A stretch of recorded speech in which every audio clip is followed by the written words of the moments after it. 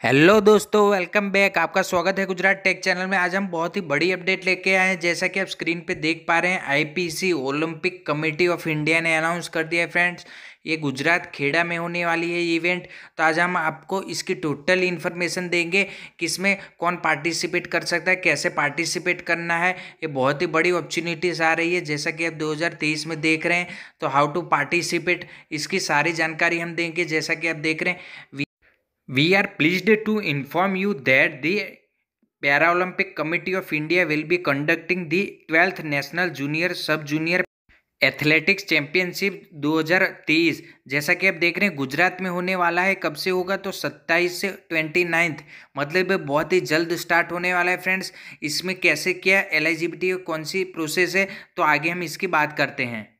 तो जैसा कि आप देख रहे हैं कि स्टेट वाइज एंट्री है, जैसा कि आप देख रहे हैं कि कौन कौन से स्लॉट दिए गए और कितनी एंट्री कोटा है मतलब कौन से स्टेट से कितने प्लेयर चूज़ होंगे। तो आप इसमें वो टेबल में आप देख सकते हैं, जैसे गुजरात में टोटल थर्टी और जैसे कि गोवा में से दस और आंध्र प्रदेश में से पंद्रह।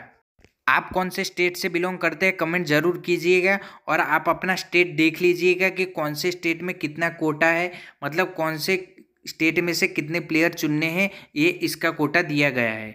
तो दोस्तों, ये आपके लिए बहुत ही बड़ी अपडेट है। जैसा कि आप देख रहे हैं कि twelfth junior and sub junior para athletics championship 2023 में स्टार्ट हो रही है और ये नेक्स्ट इसकी दूसरी भी शेड्यूल दी गई है जो फरवरी में स्टार्ट होने वाली है। उसकी भी हम अपडेट नेक्स्ट वीडियो में लेके आएँगे फ्रेंड्स तो आप इस वीडियो को भी देखें ताकि आपको उसकी नॉलेज तो दोस्तों, अब हम बात करते हैं, जैसा कि आप देख रहे हैं कि कौन सी एज वाले इसमें पार्टिसिपेट कर सकते हैं। तो आप देख सकते हैं कि अंडर नाइनटीन मतलब नाइनटीन के अंडर होंगे, वही पार्टिसिपेट कर सकते हैं। और यहाँ पर डेट भी दी गई है कि आप इस टाइम पे जन्म हुआ होना चाहिए आपका।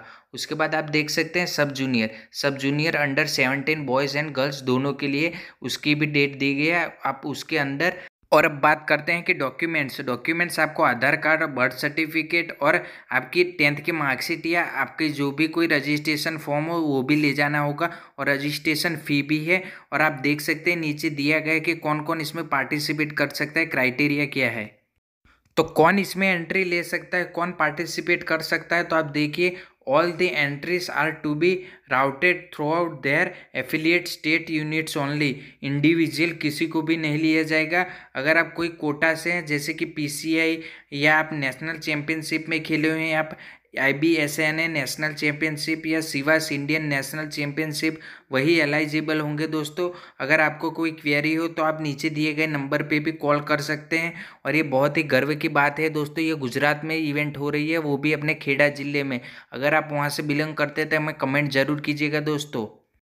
ये इन्फॉर्मेशन दोस्तों, अगर आपको अच्छी लगी हो तो वीडियो को लाइक कीजिए चैनल को सब्सक्राइब कीजिए और वीडियो को शेयर कीजिए ताकि इन्फॉर्मेशन बहुत ज़्यादा शेयर हो और बहुत ज़्यादा लोग पार्टिसिपेट कर सके दोस्तों।